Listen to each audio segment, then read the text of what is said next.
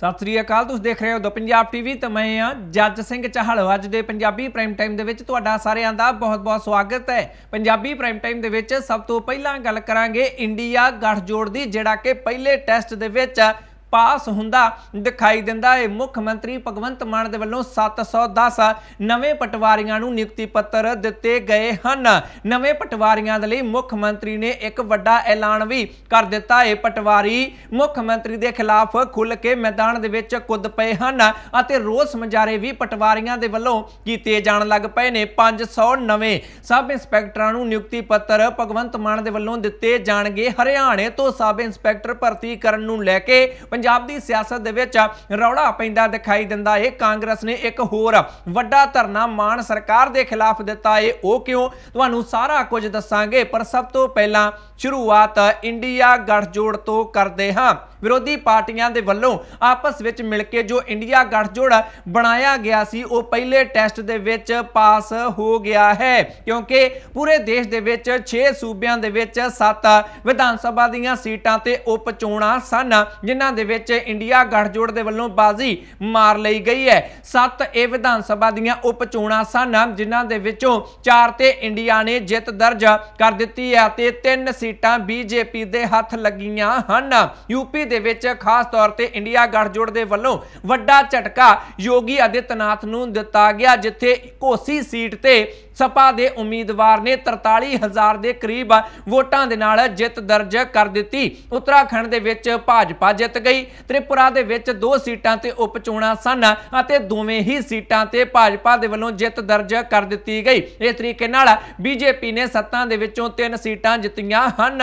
ਝਾਰਖੰਡ ਦੇ ਵਿੱਚ ਝਾਰਖੰਡ ਮੁਕਤੀ ਮੋਰਚਾ ਜਿੱਤ ਗਿਆ, ਜੋ ਕਿ ਇੰਡੀਆ ਗੱਠਜੋੜ ਦਾ ਹਿੱਸਾ ਹੈ। ਪੱਛਮੀ ਬੰਗਾਲ ਦੇ ਵਿੱਚ ਤ੍ਰਿਣਮੂਲ ਕਾਂਗਰਸ ਜਿੱਤ ਗਈ। ਉਹ ਵੀ ਇੰਡੀਆ ਗੱਠਜੋੜ ਦਾ ਹਿੱਸਾ ਹੈ ਤੇ ਕੇਰਲ ਦੇ ਵਿੱਚ ਕਾਂਗਰਸ ਪਾਰਟੀ ਦੇ ਵੱਲੋਂ ਜਿੱਤ ਦਰਜ ਕੀਤੀ ਗਈ ਹੈ। ਇਸ ਤਰੀਕੇ ਨਾਲ 4-3 ਦੇ ਨਾਲ ਇੰਡੀਆ ਗੱਠਜੋੜ ਦੇ ਵੱਲੋਂ ਪਟਕਣੀ ਦੇ ਦਿੱਤੀ ਗਈ ਹੈ। ਧੋਬੀ ਪਟਕਾ ਦੇ ਦਿੱਤਾ ਗਿਆ ਹੈ। ਭਾਰਤੀ ਜਨਤਾ ਪਾਰਟੀ ਨੂੰ ਐਨਡੀਏ ਦੇ ਗੱਠਜੋੜ ਨੂੰ। ਇਸ ਤੋਂ ਬਾਅਦ ਹੁਣ ਇੰਡੀਆ ਗੱਠਜੋੜ ਦੇ ਵੱਲੋਂ ਆਖਿਆ ਜਾਣ ਲੱਗ ਪਿਆ ਹੈ ਕਿ 2024 ਦਾ ਇਹ ਟ੍ਰੇਲਰ ਹੈ। ਇਹੀ ਕੁਝ 2024 ਦੇ ਵਿੱਚ ਵੀ ਹੋਵੇਗਾ। ਅਸੀਂ ਕੇਂਦਰ ਸਰਕਾਰ ਦੇ ਵਿੱਚ ਜੋ ਭਾਈਵਾਲ ਪਾਰਟੀਆਂ ਹਨ ਐਨਡੀਏ ਦੀਆਂ, ਉਹਨਾਂ ਸਾਰਿਆਂ ਨੂੰ 2024 ਦੀਆਂ ਲੋਕ ਸਭਾ ਚੋਣਾਂ ਦੇ ਵਿੱਚ ਹਰਾ ਦੇਵਾਂਗੇ ਅਤੇ ਇੰਡੀਆ ਦੀ ਸਰਕਾਰ ਭਾਰਤ ਦੇ ਵਿੱਚ ਬਣਾਵਾਂਗੇ। ਐਨਡੀਏ ਦੇ ਵੱਲੋਂ ਆਖਿਆ ਜਾ ਰਿਹਾ ਹੈ ਕਿ ਇਹਨਾਂ ਉਪ ਚੋਣਾਂ ਨੂੰ ਲੋਕ ਸਭਾ ਚੋਣਾਂ ਦੇ ਨਾਲ ਜੋੜਿਆ ਨਹੀਂ ਜਾ ਸਕਦਾ, ਜਿਵੇਂ ਕਿ ਹਰ ਵਾਰ ਹੁੰਦਾ ਹੈ, ਜੋ ਜਿੱਤਦਾ ਹੈ ਉਹ ਕਹਿੰਦਾ ਹੈ ਟ੍ਰੇਲਰ ਹੈ। ਅਸੀਂ ਅੱਗੇ ਵੀ ਜਿੱਤਾਂਗੇ, ਜਿਹੜਾ ਹਾਰਦਾ ਹੈ ਉਹ ਕਹਿੰਦਾ ਹੈ, ਨਹੀਂ ਜੋੜਿਆ ਜਾ ਸਕਦਾ 2024 ਦੇ ਨਾਲ। ਅਤੇ ਉਹੀ ਕੁਝ ਇਸ ਵੇਲੇ ਵੀ ਭਾਰਤ ਦੀ ਸਿਆਸਤ ਦੇ ਵਿੱਚ ਹੁੰਦਾ ਦਿਖਾਈ ਦਿੰਦਾ ਏ। ਅਗਲੀ ਖਬਰ ਦੇ ਵੱਲ ਵਧਦੇ ਹਾਂ। ਪੰਜਾਬ ਦੇ ਮੁੱਖ ਮੰਤਰੀ ਭਗਵੰਤ ਮਾਨ ਦੇ ਵੱਲੋਂ 710 ਨਵੇਂ ਪਟਵਾਰੀਆਂ ਨੂੰ ਨਿਯੁਕਤੀ ਪੱਤਰ ਦਿੱਤੇ ਗਏ ਹਨ।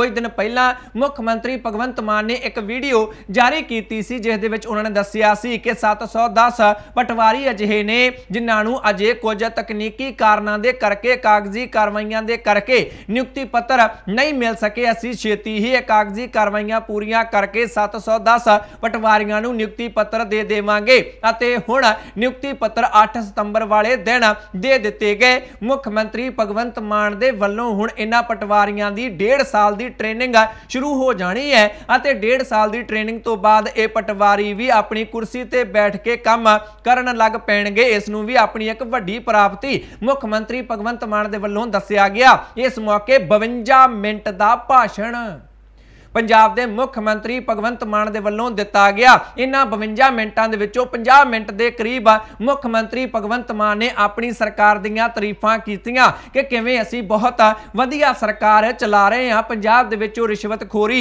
ਭ੍ਰਿਸ਼ਟਾਚਾਰ ਖਤਮ ਕਰ ਦਿੱਤਾ ਗਿਆ ਹੈ ਅਤੇ ਹੋਰ ਜੋ ਜੋ ਵੀ ਕੰਮ ਕੀਤੇ ਨੇ ਸਰਕਾਰ ਨੇ 52 ਮਿੰਟ ਤੱਕ ਮੁੱਖ ਮੰਤਰੀ ਭਗਵੰਤ ਮਾਨ ਦੇ ਵੱਲੋਂ 50 ਮਿੰਟਾਂ ਤੱਕ ਆਪਣੇ ਕੰਮ ਗਿਣਵਾਏ ਗਏ ਅਤੇ ਬਾਕੀ ਉਹਨਾਂ ਨੇ ਨਵੇਂ ਪਟਵਾਰੀਆਂ ਨੂੰ ਇਹ ਨਸੀਹਤ ਦਿੱਤੀ ਹੈ ਕਿ ਵੇਖ ਲਓ, ਤੁਹਾਡੀ ਜੋ ਭਰਤੀ ਹੋਈ ਹੈ, ਇਸ ਦੇ ਵਿੱਚ ਨਾ ਤਾਂ ਤੁਹਾਨੂੰ ਕੋਈ ਪੈਸਾ ਦੇਣਾ ਪਿਆ ਹੈ ਅਤੇ ਨਾ ਹੀ ਕੋਈ ਸਿਫਾਰਿਸ਼ ਲਵਾਉਣੀ ਪਈ ਹੈ। ਹੁਣ ਜਦੋਂ ਤੁਸੀਂ ਬਿਨਾਂ ਪੈਸੇ ਤੋਂ ਭਰਤੀ ਹੋਏ ਹੋ, ਤਾਂ ਤੁਸੀਂ ਕਿਸੇ ਦੇ ਕੋਲੋਂ ਪੈਸਾ ਲੈਣਾ ਵੀ ਨਹੀਂ ਹੈ। ਬਿਲਕੁਲ ਰਿਸ਼ਵਤ ਨਾ ਲਿਓ। ਇਹ ਅਪੀਲ ਕੀਤੀ ਹੈ, ਮੁੱਖ ਮੰਤਰੀ ਭਗਵੰਤ ਮਾਨ ਨੇ ਨਵੇਂ ਪਟਵਾਰੀਆਂ ਨੂੰ, ਕਿਉਂਕਿ ਕਹਿੰਦੇ ਨੇ ਨਵਿਆਂ ਨੇ ਹੀ ਬਦਲਣਾ ਹੁੰਦਾ ਹੈ ਜੋ ਰਵਾਇਤਾਂ ਬਣੀਆਂ ਹੁੰਦੀਆਂ ਨੇ, ਜੋ ਗਲਤ ਪਿਰਤਾਂ ਪਈਆਂ ਹੁੰਦੀਆਂ ਨੇ, ਨਵੇਂ ਹੀ ਉਹਨਾਂ ਨੂੰ ਆ ਕੇ ਬਦਲਦੇ ਨੇ। ਇਸ ਕਰਕੇ ਤੁਹਾਡੇ ਵਿੱਚ ਨਵਾਂ ਖੂਨ ਹੈ। ਅਸੀਂ ਤੁਹਾਡੇ ਕੋਲੋਂ ਕੋਈ ਪੈਸਾ ਨਹੀਂ ਲਿਆ ਭਰਤੀ ਕਰਨ ਦਾ। ਇਸ ਕਰਕੇ ਹੁਣ ਤੁਹਾਡਾ ਵੀ ਫਰਜ਼ ਬਣਦਾ ਹੈ ਕਿ ਬਿਨਾਂ ਰਿਸ਼ਵਤਖੋਰੀ ਤੋਂ ਤੁਸੀਂ ਆਪਣੀਆਂ ਸੇਵਾਵਾਂ ਪ੍ਰਦਾਨ ਕਰੋ। ਮੁੱਖ ਮੰਤਰੀ ਭਗਵੰਤ ਮਾਨ ਇੱਥੇ ਕਾਫੀ ਜ਼ਿਆਦਾ ਖੁਸ਼ ਵੀ ਦਿਖਾਈ ਦਿੱਤੇ ਕਿ ਨਵੇਂ ਪਟਵਾਰੀ ਅਸੀਂ ਭਰਤੀ ਕਰਨ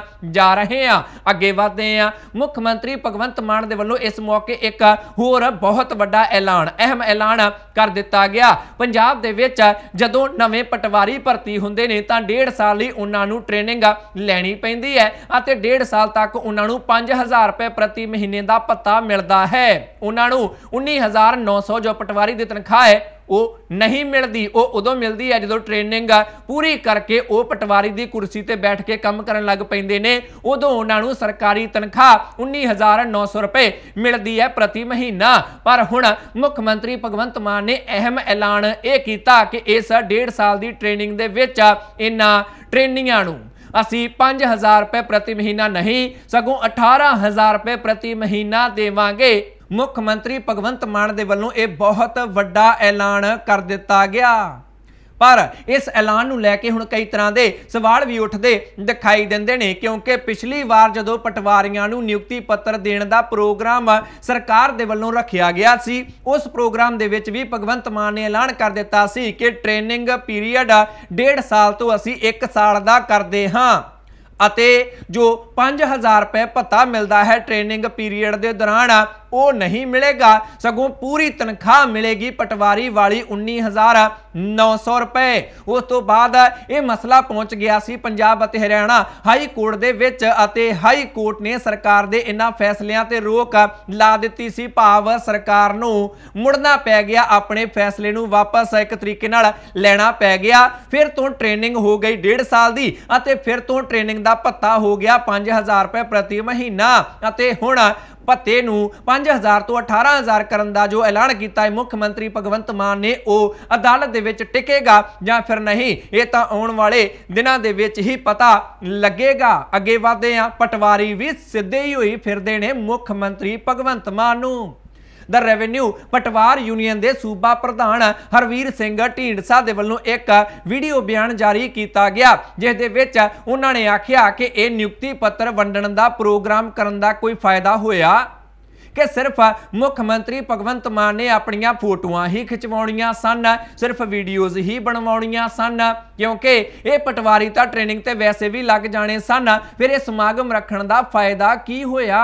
ਮੁੱਖ ਮੰਤਰੀ ਭਗਵੰਤ ਮਾਨ ਨੇ ਇਹ ਐਲਾਨ ਕਿਉਂ ਨਹੀਂ ਕੀਤਾ ਕਿ ਅਸੀਂ ਟ੍ਰੇਨਿੰਗ ਪੀਰੀਅਡ ਨੂੰ 1 ਸਾਲ ਕਰਦੇ ਹਾਂ, ਜੋ ਪਿਛਲੇ ਪ੍ਰੋਗਰਾਮ ਦੇ ਵਿੱਚ ਐਲਾਨ ਕੀਤਾ ਗਿਆ ਸੀ? ਹੁਣ ਫਿਰ ਦੱਸਿਆ ਕਿਉਂ ਨਹੀਂ ਕਿ ਹੁਣ ਟ੍ਰੇਨਿੰਗ ਪੀਰੀਅਡ ਸਾਲ ਦਾ ਹੈ ਕਿ ਜਾਂ ਫਿਰ ਡੇਢ ਸਾਲ ਦਾ ਹੈ? ਇਹ ਸਰਕਾਰ, ਇਹ ਮੁੱਖ ਮੰਤਰੀ ਜੋ ਕਹਿੰਦੇ ਹਨ, ਉਹ ਕਰਦੇ ਨਹੀਂ। ਸਿਰਫ ਫੋਟੋਆਂ ਖਿਚਵਾਉਣ ਦੇ ਲਈ ਹੀ ਇਹਨਾਂ ਦੇ ਵੱਲੋਂ ਇਹ ਸਰਕਾਰੀ ਸਮਾਗਮ ਰੱਖ ਦਿੱਤਾ ਗਿਆ ਹੈ ਰੈਵਨਿਊ ਪਟਵਾਰ ਯੂਨੀਅਨ ਦੇ ਪ੍ਰਧਾਨ ਦੇ ਵੱਲੋਂ ਖਰੀਆਂ ਖਰੀਆਂ ਪੰਜਾਬ ਦੇ ਮੁੱਖ ਮੰਤਰੀ ਭਗਵੰਤ ਮਾਨ ਨੂੰ ਸੁਣਾ ਦਿੱਤੀਆਂ ਗਈਆਂ ਨੇ।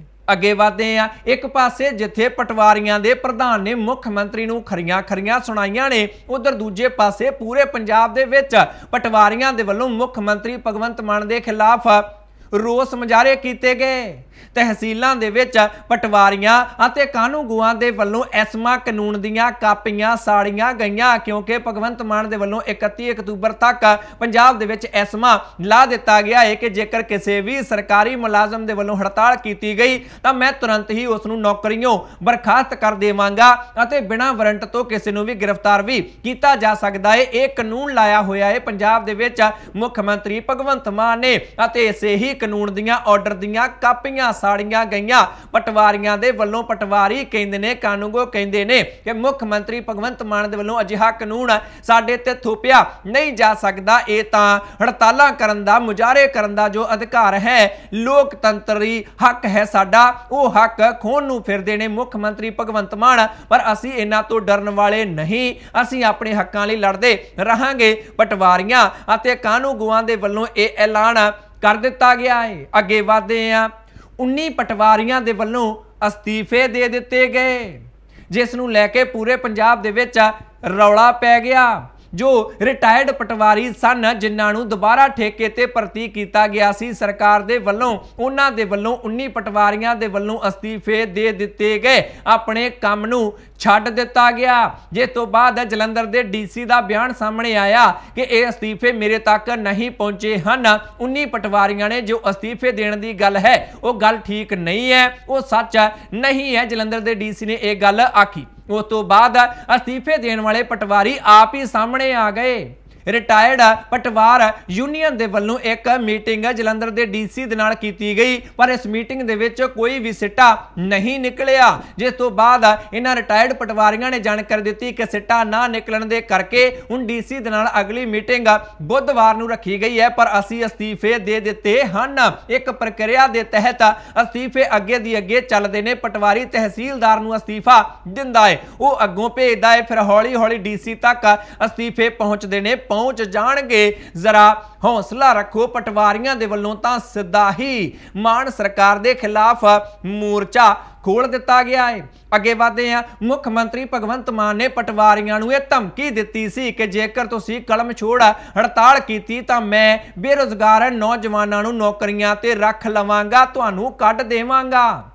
ਪਟਵਾਰੀਆਂ ਦੇ ਵੱਲੋਂ ਐਲਾਨ ਕਰ ਦਿੱਤਾ ਗਿਆ ਕਿ 3193 ਸਰਕਲਾਂ ਦੀਆਂ ਕਲਮਾਂ ਅਸੀਂ ਛੱਡਦੇ ਹਾਂ। ਕਲਮ ਛੋੜ ਹੜਤਾਲ ਕਰਦੇ ਆ ਜਿਹੜੇ ਸਾਨੂੰ ਵਾਧੂ ਚਾਰਜ ਮਿਲੇ ਹੋਏ ਨੇ। ਨਾਲ ਹੀ ਅਸੀਂ ਮੁੱਖ ਮੰਤਰੀ ਭਗਵੰਤ ਮਾਨ ਨੂੰ ਚੈਲੰਜ ਵੀ ਕਰਦੇ ਆ ਕਿ ਇਹਨਾਂ 3193 ਪਟਵਾਰ ਸਰਕਲਾਂ ਦੇ ਵਿੱਚ ਤੁਸੀਂ ਹੁਣ ਬੇਰੋਜ਼ਗਾਰ ਮੁੰਡੇ ਕੁੜੀਆਂ ਨੂੰ ਨੌਕਰੀਆਂ ਦੇਵੋ।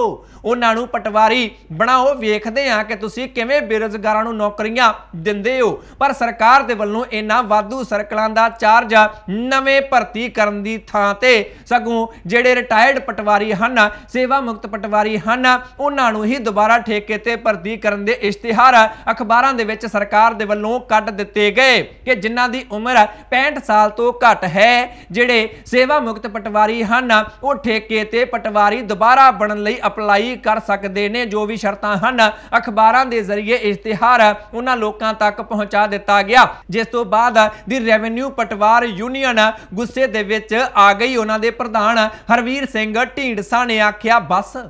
ਹੁਣ ਸੇਵਾ ਮੁਕਤ ਪਟਵਾਰੀ ਭਰਤੀ ਕਰਨੇ ਨੇ। ਭਗਵੰਤ ਮਾਨ ਨੇ ਤਾਂ ਆਖਿਆ ਸੀ, ਬੜੇ ਬੇਰੋਜ਼ਗਾਰ ਮੁੰਡੇ ਕੁੜੀਆਂ ਪਏ ਨੇ, ਉਹਨਾਂ ਨੂੰ ਭਰਤੀ ਕਿਉਂ ਨਹੀਂ ਕਰਦੇ? ਹੁਣ ਸਾਡੇ ਹੀ ਜਿਹੜੇ ਸੇਵਾ ਮੁਕਤ ਪਟਵਾਰੀ ਹਨ, ਉਹਨਾਂ ਨੂੰ ਹੀ ਆਖੀ ਜਾਂਦੇ ਨੇ ਕਿ ਸਾਡੇ ਵੱਲੋਂ ਹੀ ਛੱਡੇ ਹੋਏ ਵਾਧੂ ਸਰਕਲ ਤੁਸੀਂ ਸਾਂਭ ਲਓ। ਉਹ ਕਿਉਂ ਸਾਂਭਣਗੇ? ਉਹ ਵੀ ਸਾਡੀ ਹੀ ਜਥੇਬੰਦੀ ਦੇ ਮੈਂਬਰ ਨੇ ਜਿਹੜੇ ਸੇਵਾ ਮੁਕਤ ਪਟਵਾਰੀ ਹਨ। ਉਹ ਬਿਲਕੁਲ ਵਾਧੂ ਸਰਕਲਾਂ ਦਾ ਚਾਰਜ ਨਹੀਂ ਸੰਭਾਲਣਗੇ। ਮੁੱਖ ਮੰਤਰੀ ਨੂੰ ਹੁਣ ਆਪਣੀ ਗੱਲ ਤੇ ਪੂਰਾ ਉਤਰਨਾ ਚਾਹੀਦਾ ਹੈ। ਬੇਰੋਜ਼ਗਾਰ ਮੁੰਡੇ ਕੁੜੀਆਂ ਨੂੰ ਇਹਨਾਂ ਵਾਧੂ ਸਰਕਲਾਂ ਦਾ ਚਾਰਜ ਦੇਣਾ ਚਾਹੀਦਾ ਹੈ। ਨਵੇਂ ਮੁੰਡੇ ਕੁੜੀਆਂ ਭਰਤੀ ਕਰਨੇ ਚਾਹੀਦੇ ਨੇ। ਭਗਵੰਤ ਮਾਨ ਨੇ ਆਖਿਆ ਸੀ, ਅਸੀਂ ਤਾਂ ਹੀ ਕਲਮਾਂ ਛੱਡੀਆਂ ਸਨ, ਪਰ ਹੁਣ ਸਾਡੇ ਹੀ ਸਾਥੀਆਂ ਨੂੰ ਸੇਵਾ ਮੁਕਤ ਪਟਵਾਰੀਆਂ ਨੂੰ ਇਹ ਭਰਤੀ ਕਰਨ ਨੂੰ ਫਿਰਦੇ ਨੇ। ਬਿਲਕੁਲ ਉਹ ਸਰਕਾਰ ਦੇ ਇਹਨਾਂ ਲਾਲਚਾਂ ਦੇ ਵਿੱਚ ਨਹੀਂ ਆਉਣਗੇ, ਕਿਉਂਕਿ ਉਹ ਵੀ ਸਾਡੀ ਯੂਨੀਅਨ ਦੇ ਹੀ ਮੈਂਬਰ ਹਨ। ਇਸ ਤਰੀਕੇ ਨਾਲ ਮੋੜਵਾ ਜਵਾਬ ਵਾਰ-ਵਾਰ ਹਰਵੀਰ ਸਿੰਘ ਢੀਂਡਸਾ ਦੇ ਵੱਲੋਂ ਮੁੱਖ ਮੰਤਰੀ ਭਗਵੰਤ ਮਾਨ ਨੂੰ ਦਿੱਤਾ ਜਾ ਰਿਹਾ ਹੈ। ਅੱਗੇ ਵਧਦੇ ਹਾਂ। ਮੁੱਖ ਮੰਤਰੀ ਭਗਵੰਤ ਮਾਨ ਦੇ ਵੱਲੋਂ ਹੁਣ 500 ਨਵੇਂ ਭਰਤੀ ਕੀਤੇ ਗਏ ਸਬ ਇੰਸਪੈਕਟਰਾਂ ਨੂੰ ਨਿਯੁਕਤੀ ਪੱਤਰ ਸੌਂਪੇ ਜਾਣਗੇ ਜਲੰਧਰ ਦੇ ਵਿੱਚ। ਪੰਜਾਬ ਸਰਕਾਰ ਦੇ ਵੱਲੋਂ 560 ਨਵੇਂ ਸਬ ਇੰਸਪੈਕਟਰ ਭਰਤੀ ਕੀਤੇ ਗਏ ਸਨ। ਉਹਨਾਂ ਦੇ ਵਿੱਚੋਂ 60 ਅਜੇ ਨਿਯੁਕਤੀ ਪੱਤਰ ਨਹੀਂ ਲੈ ਰਹੇ ਹਨ। ਕੁਝ ਤਕਨੀਕੀ ਕਾਰਨ ਹਨ, ਜਿਸ ਕਰਕੇ ਉਹ 60 ਅਜੇ ਜੁਆਇਨ ਨਹੀਂ ਕਰ ਰਹੇ। ਪਰ 500 ਨੂੰ ਮੁੱਖ ਮੰਤਰੀ ਭਗਵੰਤ ਮਾਨ ਦੇ ਵੱਲੋਂ ਨਿਯੁਕਤੀ ਪੱਤਰ ਸੌਂਪੇ ਜਾਣਗੇ।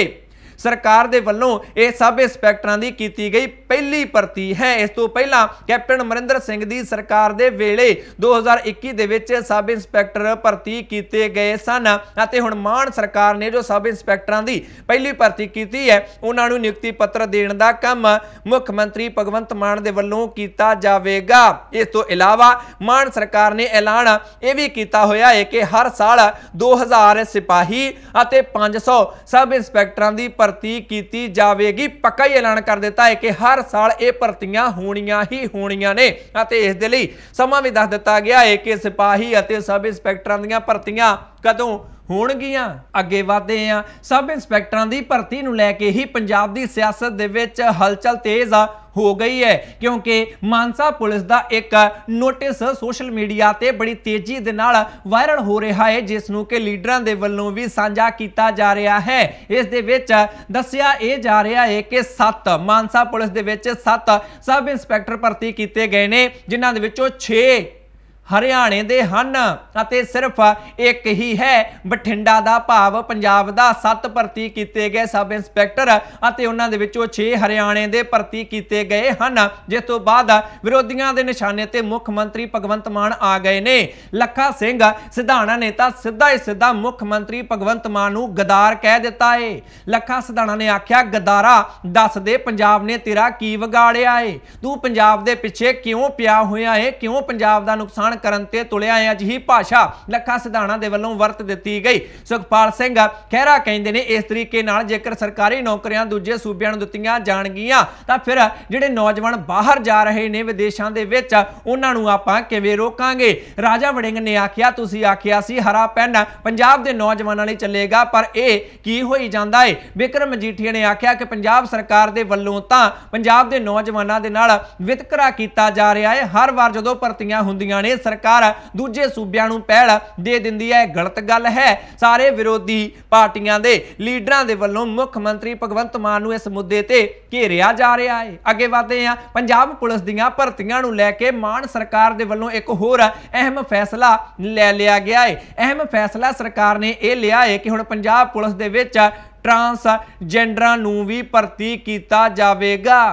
ਅਤੇ ਉਹਨਾਂ ਲਈ ਵੀ ਸ਼ਰਤਾਂ ਉਹੀ ਰੱਖੀਆਂ ਜਾਣਗੀਆਂ ਜੋ ਕਿ ਮਰਦ ਅਤੇ ਔਰਤਾਂ ਲਈ ਰੱਖੀਆਂ ਜਾਂਦੀਆਂ ਹਨ। ਇਸ ਤੋਂ ਇਲਾਵਾ ਜਾਣਕਾਰੀ ਇਹ ਵੀ ਸਾਹਮਣੇ ਆ ਰਹੀ ਹੈ ਕਿ ਟਰਾਂਸਜੈਂਡਰਾਂ ਦੇ ਲਈ ਪੰਜਾਬ ਪੁਲਿਸ ਦੀਆਂ ਭਰਤੀਆਂ ਦੇ ਵਿੱਚ ਵੱਖਰਾ ਕੋਟਾ ਵੀ ਰੱਖਿਆ ਜਾ ਸਕਦਾ ਹੈ। ਸਰਕਾਰ ਦੇ ਵੱਲੋਂ ਇਹ ਕਾਫੀ ਅਹਿਮ ਐਲਾਨ ਕੀਤਾ ਗਿਆ ਹੈ ਅੱਗੇ ਵਧਦੇ ਆ ਬੀਤੇ ਦਿਨ ਪੰਜਾਬ ਅਤੇ ਹਰਿਆਣਾ ਹਾਈ ਕੋਰਟ ਦੇ ਵੱਲੋਂ ਪੰਜਾਬ ਸਰਕਾਰ ਨੂੰ ਅਤੇ ਪੰਜਾਬ ਪੁਲਿਸ ਨੂੰ ਝਾੜ ਲਾਈ ਗਈ ਸੀ। ਝਾੜ ਪਾਈ ਗਈ ਸੀ ਕਿ ਰੋਪੜ ਦੇ ਵਿੱਚ ਜੋ ਗੈਰ ਕਾਨੂੰਨੀ ਮਾਈਨਿੰਗ ਹੁੰਦੀ ਹੈ, ਉਸ ਦੇ ਵਿੱਚ ਪੁਲਿਸ ਵਾਲੇ ਵੀ ਨਾਲ ਹੀ ਰਲੇ ਹੋਏ ਨੇ। ਇਸ ਫਟਕਾਰ ਤੋਂ ਬਾਅਦ ਹੁਣ ਰੂਪਨਗਰ ਦੇ ਐਸਐਸਪੀ ਦੇ ਵੱਲੋਂ ਨਵਾਂ ਨੰਗਲ ਦੇ ਚੌਂਕੀ ਇੰਚਾਰਜ ਇੰਦਰਜੀਤ ਸਿੰਘ ਨੂੰ ਮੁਅੱਤਲ ਕਰ ਦਿੱਤਾ ਗਿਆ ਹੈ। ਹਰਕਤ ਦੇ ਵਿੱਚ ਆ ਗਈ ਹੈ। ਪੰਜਾਬ ਪੁਲਿਸ ਕਿਉਂਕਿ ਕੋਰਟ ਨੇ ਆਖਿਆ ਸੀ ਜਿਹੜੇ ਡਰਾਈਵਰ ਹੁੰਦੇ ਨੇ, ਭਾਵੇਂ ਉਹ ਜੀਸੀਬੀ ਦੇ ਹੋਣ, ਟਰੈਕਟਰ ਟਰਾਲੀਆਂ ਦੇ ਹੋਣ, ਉਹਨਾਂ ਤੇ ਤਾਂ ਪਰਚੇ ਕਰ ਦਿੰਦੇ ਨੇ। ਪਰ ਜਿਹੜੇ ਗੈਰ ਕਾਨੂੰਨੀ ਮਾਈਨਿੰਗ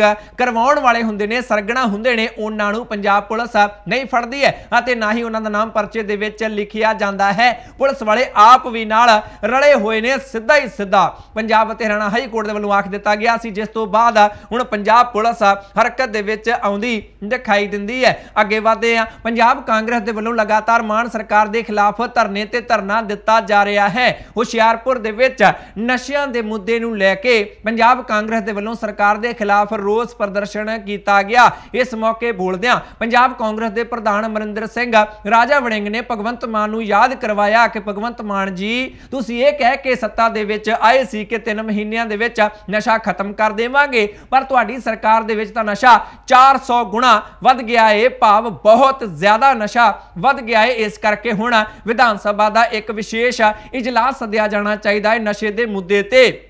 ਸਦਨ ਦੇ ਵਿੱਚ ਵਿਚਾਰ ਚਰਚਾ ਕਰੀਏ ਕਿ ਨਸ਼ੇ ਨੂੰ ਖਤਮ ਕਿਵੇਂ ਕੀਤਾ ਜਾ ਸਕਦਾ ਹੈ ਇਜਲਾਸ ਸੱਦਣ ਦੀ ਮੰਗ ਰਾਜਾ ਵੜਿੰਗ ਦੇ ਵੱਲੋਂ ਕਰ ਦਿੱਤੀ ਗਈ ਹੈ ਅੱਗੇ ਵਧਦੇ ਆ ਗੁਰਦਾਸਪੁਰ ਦੇ ਬਟਾਲਾ ਦੇ ਸਿਵਲ ਹਸਪਤਾਲ ਤੋਂ ਇੱਕ ਬੁਰੀ ਖਬਰ ਸਾਹਮਣੇ ਆਈ ਹੈ ਜੇ ਖਬਰ ਦੇ ਮੁਤਾਬਕ ਇੱਕ ਲੜਕੀ ਦੀ ਮੌਤ ਹਸਪਤਾਲ ਦੀ ਓਪੀਡੀ ਦੇ ਬਾਹਰ ਹੋ ਗਈ, ਜੋ ਕਿ ਨਸ਼ੇ ਦੀ ਆਦੀ ਸੀ। ਕੁਝ ਸਮਾਂ ਪਹਿਲਾਂ ਇਸ ਲੜਕੀ ਦੀਆਂ ਤਸਵੀਰਾਂ ਸਾਹਮਣੇ ਆਈਆਂ ਸਨ। ਇਸ ਲੜਕੀ ਨੇ ਆਖਿਆ ਸੀ ਕਿ ਮੇਰੇ ਬॉयਫ੍ਰੈਂਡ ਨੇ ਮੈਨੂੰ ਨਸ਼ੇ ਤੇ ਲਾ ਦਿੱਤਾ ਹੈ, ਮੈਂ ਨਸ਼ਾ ਛੱਡਣਾ ਚਾਹੁੰਦੀ ਹਾਂ, ਪਰ ਮੈਂ ਮਰ ਜਾਣਾ ਹੈ ਤੇ ਸੱਚਮੁੱਚ ਹੀ ਉਸ ਲੜਕੀ ਦੀ ਮੌਤ ਹੋ ਗਈ ਹੈ। ਇਹ ਦੁਖਦਾਈ ਖਬਰ ਬਟਾਲਾ ਦੇ ਸਿਵਲ ਹਸਪਤਾਲ ਤੋਂ ਸਾਹਮਣੇ ਆਈ ਹੈ। ਅੱਗੇ ਵਧਦੇ ਆ ਬਿਜਲੀ ਦੇ ਕੱਟਾਂ ਤੋਂ ਕਿਸਾਨ ਪਰੇਸ਼ਾਨ ਹੁੰਦੇ ਦਿਖਾਈ ਦਿੰਦੇ ਨੇ। ਖਾਸ ਤੌਰ ਤੇ ਜਿਹੜੇ ਬਾਰਡਰ ਦੇ ਏਰੀਏ ਨੇ, ਮਾਲਵਾ ਦੇ ਵਿੱਚ ਖਾਸ ਤੌਰ ਤੇ ਜਿਵੇਂ ਕਿ ਫਿਰੋਜ਼ਪੁਰ, ਫਾਜ਼ਿਲਕਾ, ਉਸ ਦੇ ਨਾਲ ਲੱਗਦਾ ਇਲਾਕਾ ਸ਼੍ਰੀ ਮੁਕਤਸਰ ਸਾਹਿਬ ਦਾ। ਇਸ ਨੂੰ ਹੁਣ ਪੋਲੀਟੀਕਲ ਲੀਡਰਾਂ ਦੇ ਵੱਲੋਂ ਸਿਆਸੀ ਮੁੱਦਾ ਵੀ ਬਣਾਇਆ ਜਾਣ ਲੱਗ ਪਿਆ ਹੈ। ਸ਼੍ਰੋਮਣੀ ਅਕਾਲੀ ਦਲ ਦੇ ਪ੍ਰਧਾਨ ਸੁਖਬੀਰ ਸਿੰਘ ਬਾਦਲ ਦੇ ਵੱਲੋਂ ਆਪਣੇ ਅਧਿਕਾਰਤ ਫੇਸਬੁੱਕ ਪੇਜ ਤੇ ਇੱਕ ਵੀਡੀਓ ਕਿਸਾਨਾਂ ਦੀ ਸਾਂਝੀ ਕੀਤੀ ਗਈ ਹੈ ਜਿਸ ਦੇ ਵਿੱਚ ਕਿਸਾਨ ਕਹਿ ਰਹੇ ਨੇ ਕਿ 20 ਤੋਂ 22 ਘੰਟੇ ਦਾ ਕੱਟ ਲੱਗ ਰਿਹਾ ਹੈ। ਬਿਜਲੀ ਦਾ। 1 ਘੰਟਾ ਬਿਜਲੀ ਆਉਂਦੀ ਹੈ 2 ਘੰਟਾ ਬਿਜਲੀ ਆਉਂਦੀ ਹੈ। ਸਾਡਾ ਤਾਂ ਝੋਨਾ ਸੁੱਕਦਾ ਜਾਂਦਾ ਹੈ ਮੁੱਖ ਮੰਤਰੀ ਭਗਵੰਤ ਮਾਨ ਜੀ 8 ਘੰਟੇ ਕਿਹਾ ਸੀ 4-5 ਘੰਟੇ ਤਾਂ ਦੇਵੋ।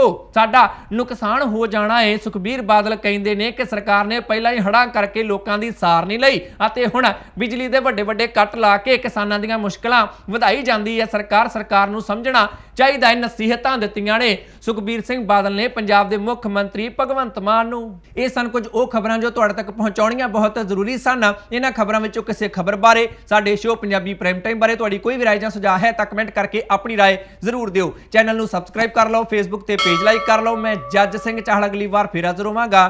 ਤੁਸੀਂ ਦੇਖਦੇ ਰਹੋ ਦਾ ਪੰਜਾਬ ਟੀਵੀ ਹਰ ਖਬਰ ਦਾ ਸੱਚ।